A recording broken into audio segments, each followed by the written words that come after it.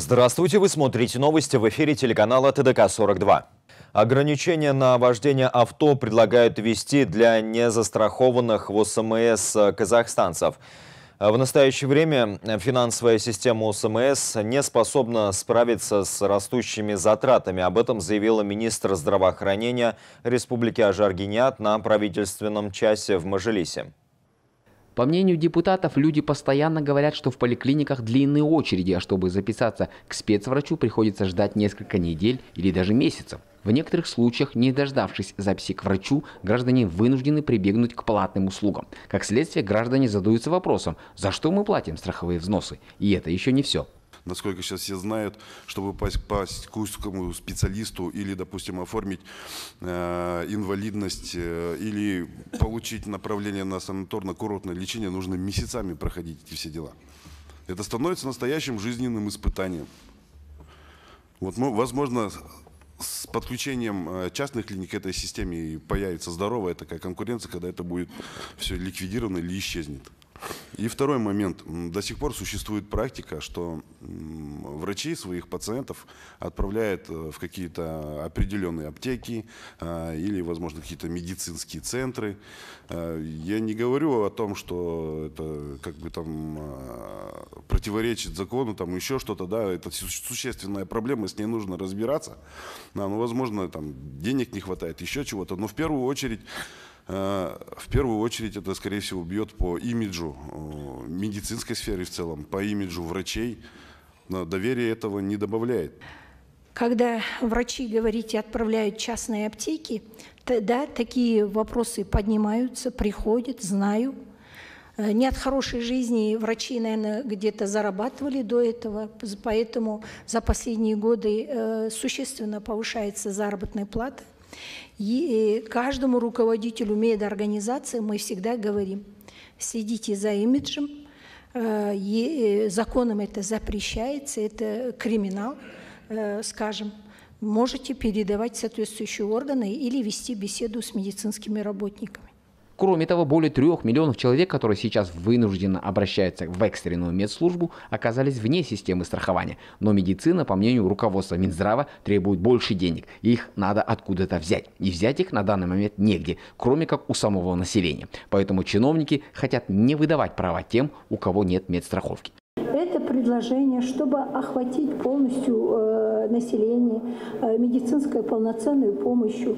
Э, также, чтобы, э, скажем, был какой-то контроль. На сегодняшний день 3,5 миллиона человек вне системы находится. По мнению критиков, под видом прогрессивной реформы собрались миллионов казахстанцев деньги, при том, что 35% из всех расходов на здравоохранение граждане и так платят сами. Кроме того, наши налоги идут на медицину. Экстренная помощь оказывается всем гражданам, независимо от того, есть у них страховка или нет. В остальных случаях человек легко может остаться и без медуслуг. Получается, система ОСМС ничем не отличается от действующей модели здравоохранения. Это лишь дополнительный налог, полагают критики системы. И главное, здесь есть коррупция коррупционные риски. Ежегодно увеличивается количество нарушений.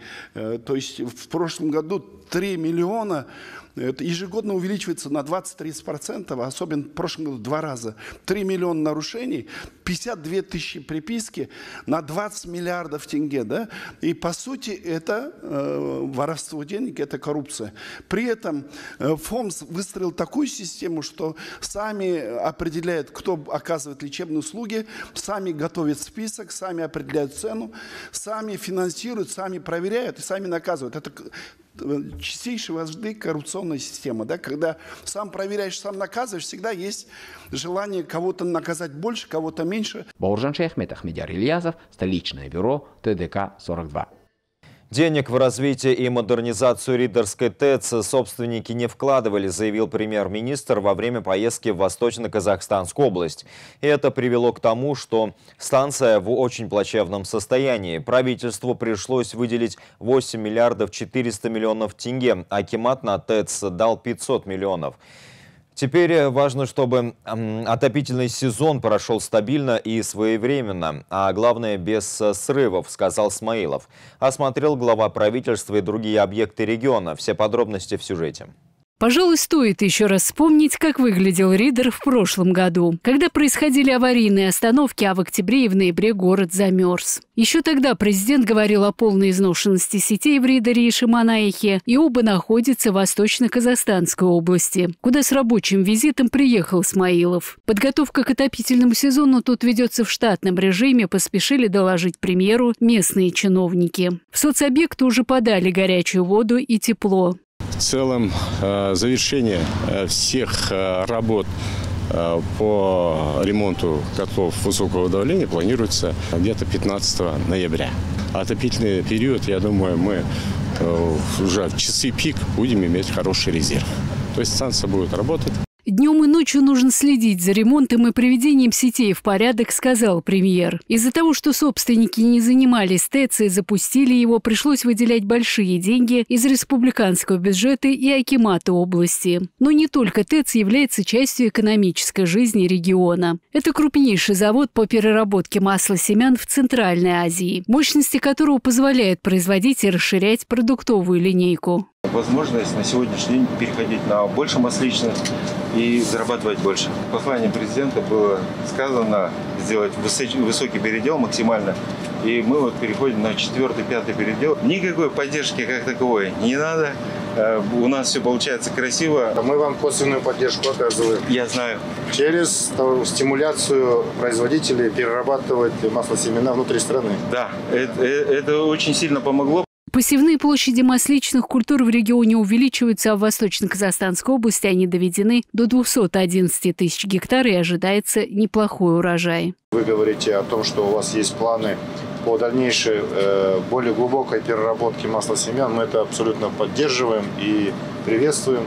Со своей стороны э, правительство готово вам оказывать необходимую поддержку э, либо прямыми, либо косвенными мерами поддержки, как то э, продвижение экспортной вашей продукции за рубежом, поддержка. И у нас есть э, соответствующие инструменты э, в Министерстве торговли и интеграции. Крупный инвестпроект, а вернее оптово-распределительный центр Алтай должен внести большой вклад в сдерживание цен на продовольственную продукцию. Завершается возведение сразу двух овощехранилищ общей площадью 20 тысяч квадратных метров. Они смогут вмещать до 45 тысяч тонн продукции, и возле всех городов, особенно крупных, должны быть такие оптово-распределительные центры, которые позволят стабильно обеспечить внутренний рынок необходимой продукцией, сказал премьер стабилизировать цены и самое главное за счет хранения э, межсезонный период, тогда, когда наступает дефицит, mm-hmm. вы всегда можете поставлять на э, рынки, магазины yeah.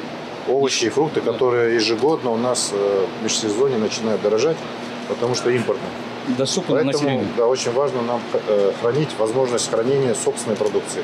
Большой потенциал есть и у горно-металлургического комплекса, на который приходится около 70% всей промышленности региона. Предстоит в кратчайшие сроки модернизировать систему управления горно-рудным сектором, и одной из главных задач при этом должно стать освоение залежи редких и редкоземельных металлов электромобиль өндірісінің қарқынды өсуіне байланысты литий металлын өндіру. В условиях роста производства электромобиля актуальными являются разведка и добыча металла лития. На государственном балансе Восточно-Казахстанской области числится шесть месторождений в Уланском и Шаманаихинском районах и окраине Усть-Каменогорска. Неразведанных запасов еще больше. Поблизости находятся китайские и другие азиатские рынки, являющиеся одним из его основных потребителей. Для использования использования данных возможностей Акимат должен активно привлекать инвесторов в разработку месторождений.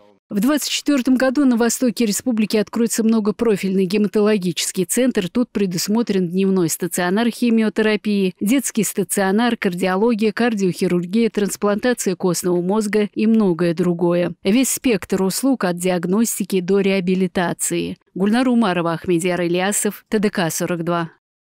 В Уральске начали подавать тепло. На сегодняшний день к теплоснабжению подключено уже 35 объектов здравоохранения и образования. В жилых домах тепло будет э, после того, как дневная температура воздуха на протяжении трех дней не будет превышать 8 градусов. Работа по подключению Уральска к теплоснабжению началась еще в конце сентября. В первую очередь тепло появляется в детских садах, школах, больницах и поликлиниках. Руководители этих учреждений должны подать заявку в ЖЭК «Теплоэнерго». На сегодняшний день заявки поступают, но мы думаем, что до числа 10 октября мы все школы и детсады подключим уже к отоплению. Подключать к отоплению жилые дома начнут после того, как дневная температура воздуха понизится до 8 и ниже градусов тепла. В первую очередь тепло станет в домах, которые имеют паспорт готовности. Необходимо производить опрессовку внутренней системы на герметичность в первую очередь проверить. А вторую это уже промывка. От промывки зависит уже качество тепла. Если качественно промыть систему отопления, то и, соответственно, в зимний период тоже будет у них тепло. Стоит напомнить, что с 20 августа текущего года тариф на тепло и горячее водоснабжение повысился. Один куб горячей воды стоит 204 тенге, один квадратный метр отопления обходится в 145 тенге. Марина Горбук, Нурлан Кунашев, Асубек Абекенов, ТДК-42. Акжоловцы начали новую инициативу. Теперь в Западно-Казахстанской области откроется Центр поддержки молодых представителей бизнеса. Об этом стало известно на очередном заседании Западно-Казахстанского областного филиала Демократической партии Казахстана «Акжол». Подробности в сюжете. Очередное собрание филиала Демпартии «Ажол» было посвящено развитию бизнеса в области. В целях привлечения в предпринимательскую деятельность больше молодежи при партии будет сформирован Центр поддержки молодых предпринимателей. Им будет оказываться помощь и консультация по важным вопросам. Одним из направлений работы Центра будет увеличение количества сельской молодежи в бизнесе, а также расширение уже имеющихся предприятий. Нужно обратить внимание на поддержку бизнеса сельской молодежи. Например, в Тоскалинском районе много начинающих бизнесменов. Они делают его на продаже шаров, проводят съемки различного формата, открывают общепиты. Мы должны оказать таким людям поддержку и пропагандировать их работу, подсказать, где нужно. На сегодня в стране имеется множество инструментов поддержки малого и среднего бизнеса. Например, безвозвратные гранты от государства. Но часто участие в них оказывается недоступным для жителей из-за недостаточной информации, а в некоторых случаях подготовленные документы не соответствуют требованиям гранта, озвучили ахжоловцы. Представители партии отмечают, что необходимо обратить внимание на состав данной комиссии, которая определяет гранты, потому что могут быть коррупционные риски состав комиссии. Многие боятся идти в бизнес из-за нехватки информации. Конкурс должен проходить честно. Для этого необходимо пересмотреть состав комиссии по грантам, то есть включить тех, кто имеет непосредственное отношение к бизнесу и знает его. Председателем центра, работа которой стартует до конца текущего года, избран член партии «Ажол» предприниматель Омаров Токтар Мирикевич. Центр поддержки молодых предпринимателей планируется открыть во всех районах области. Мульдер Садргалиева, Марлен Искалиев, Нурлан Шамгонов, телеканал ТДК-42. Отцепившийся прицеп унес жизнь человека на трассе в Актюбинской области. Как сообщили в областном департаменте полиции, на автодороге Самара-Шимкент, недалеко от э, села Акжар, произошла авария с участием грузовика «Вольво» и автомобиля Hyundai Акцент. Причиной столкновения стал прицеп двигающегося грузовика. После отсоединения сцепной системы прицеп отклонился от э, движения больших груза, выехал на встречную полосу и столкнулся с легковым автомобилем. За рулем иномарки был гражданин Кыргызстана, который ехал в Россию. В результате дорожно-транспортного происшествия 35-летний пассажир легкового автомобиля погиб на месте. Еще одного пассажира и водителя с различными травмами доставили в больницу. Ежегодный этнофестиваль Тарыфест в Актюбинской области собрал больше тысячи участников со всей страны. По традиции мероприятие проходило на родине знаменитого просовода-рекордсмена Шиганака Берсиева в Уилском районе. Лейла Уесова узнала лучшие рецепты приготовления национальных лакомств из Тары. Такие деревянные ступы и каменные дермены и по сей день хранятся в каждой уилской семье. Секреты приготовления тара здесь передаются из поколения в поколение. Ахдер Хаижанова мастерству обжарки проса научилась у мамы. Теперь своим опытом делится со своими невестками. Больше 40 лет этим занимаюсь. Сейчас на пенсии жарю тары на продажу. Это хороший бизнес для сельчан, а из Талхана делаем вкусный жент и другие национальные лакомства. Каждый год представляем нашу продукцию на различных ярмарках. Участники праздника смогли посмотреть всю технологию приготовления тара. Мастерицы из Уила и других районов показали гостям, как это делается. В старинных ступах очищали проса от шелухи, провеивали и после обжарки тары перемалывали на дерменах в толкан. Праздник впервые прошел на республиканском уровне. Он собрал гостей со всего западного региона. Местные хозяйки даже устроили состязание. Кто лучше очистит проса, провеет и обжарит в казане. Всех желающих угощали готовыми блюдами из тара. Здесь же проходила выставка народных ремесленников. Надеюсь, что такие мероприятия станут доброй традицией и будут проходить ежегодно, чтобы передавать эти знания из поколения в поколение. В этом году в Уилском районе просом засеяли 700 гектаров. С каждого гектара получили в среднем по 9 центнеров. Особенности возделывания этой культуры и возрождения того самого сорта, который выращивал известный просовод Шаханах Персиев, обсудили на научной конференции. У этой культуры очень хорошая урожайность, поэтому Шиганак Берсиев и выбрал именно ее. Из одного зернышка вырастает множество метелок. В каждом колоске более тысячи зерен тяжелые военные годы посевы шганака кормили весь уилский народ. С гордостью говорят его потомки. В театрализованном представлении постарались передать атмосферу тех времен. Зрители погрузили тот период, когда известный просовод получал рекордные урожаи. Сейчас белая тара здесь не возделывают. На полях выращивают красные и желтозерные сорта, которые по качеству ничем не уступают знаменитому белому просу Берсиева. Тары и толхан из уилского проса получается вкусным и питательным. Актюбинские кондитеры даже создали создали свой бренд, приготовив жент в шоколаде. Это национальное лакомство уже полюбили и за рубежом. Участники фестиваля посетили место знаменитой Кукжарской ярмарки, открытая полтора века назад на Шелковом пути. Она не только способствовала экономическому развитию края, но и ее духовному расцвету. Кукжар был очень удобным пунктом для товарообмена, так как находился на стыке Европы и Азии. В 1860 году здесь построили первые торговые ряды, которые сохранились в первозданном виде до сих пор. Их отреставрировали, и каждый год в Уиле проходят сельхозярмарки, куда люди со всей округи привозят свои свою продукцию. Лейла Осова, Жумат Кудайбергенов, телеканал ТДК-42, Актюбинская область. 18-летняя спортсменка Мария Бравкова вернулась в Уральск. Она принесла Казахстану бронзовую и серебряную медали азиатских игр в Ханчжоу. Юную медалистку встречали в аэропорту родственники, друзья, тренеры и руководство областного управления физической культуры и спорта. На азиатских играх в Китае на дистанции 200 метров гребли на каноэ казахстанка Мария Бравкова завоевала третье место. В финальном заплыве Мария уступила представительнице Китая 2 секунды. Второй стала представительница Таиланда. Таким образом, спортсменка из Казахстана выиграла свою вторую медаль в Ханчжоу. Ранее на дистанции 500 метров на каноэ двойки Марии вместе с Руфиной Скаковой завоевали серебро. Сейчас мы находимся в аэропорту города Уральск. Здесь собралось немалое количество людей, которые приехали встретить а, юную спортсменку Марию Бравкову. Среди собравшихся в аэропорту мама, родственники, тренеры и просто болельщики, которые приехали встретить Марию. Ей всего 18 лет. Она студентка второго курса Западно-Казахстанского аграрно-технического университета имени Жангирхана. Елена Бравкова, мама юной спортсменки, отмечает, что дочь буквально родилась в спорте. В спорте она выросла, так как я тренер, и она в спорте выросла, можно сказать, родилась и делала первые шаги на спортивной базе.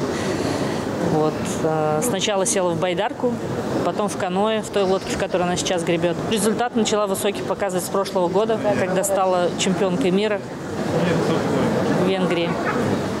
Вот. А в этом году очень много соревнований был. Был и мир юниорский, где она снова стала чемпионкой мира второй раз.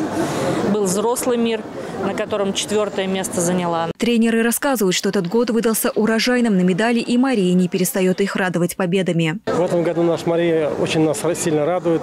Чемпионат мира, две медали, Кубок мира, золото. И вот азиатские игры снова серебро, золото и, и бронза. Хотелось бы пожелать Марии, чтобы она завоевала лицензию на Олимпийские игры и нашим тренерам, чтобы таких у нас было как можно больше. Хороший результат. Я потому что первый раз участвовала на таких соревнованиях больших и очень рада такой, такому выступлению. Вот. Э, соперники были очень сильные, Китай очень сильные спортсмены. Но мы работали, старались и для всех сил. Тионов Сергей Николаевич, мой тренер, он э, в сборной тренер мой, э, живет в Астане, вот я у него тренируюсь с ним работаю уже два года. Говоря о своих планах на будущее, Мария поделилась с нами, что теперь она будет готовиться к лицензионному чемпионату Азии, который пройдет в апреле месяце следующего года. Дана Киримбаева, Айбола Джагапар, Александр Грабарев, телеканал ТТК-42. Это были все новости к этому часу. Смотрите нас в социальных сетях и на сайте tdk42.kz. Спасибо за внимание. До встречи в эфире. Одежда ведущим предоставлена магазином «Купер». Бутики мужской одежды «Купер» расположены в торгово-развлекательном комплексе «Сити-центр» на третьем этаже и в торгово-развлекательном центре «Азия Молл» на первом этаже.